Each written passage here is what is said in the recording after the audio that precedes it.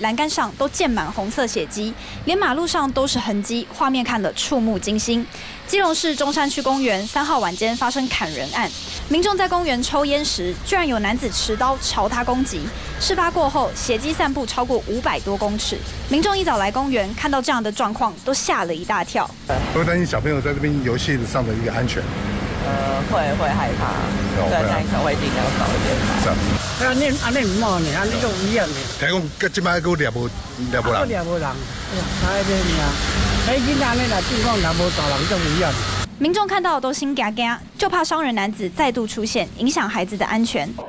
到场发现有一男子手部遭割受伤，非遭砍伤，为生命迹象稳定。本分局立即成立专案小组。并于三小时内迅速查获涉案犯嫌到案。警方表示，目前已经逮到涉案嫌犯，只是本该让孩子放松玩耍的公园，如今却传出惊悚案件，到处都是血迹，让家长都好惊慌。希望警方能够加强巡逻，别让公园成为安全破口。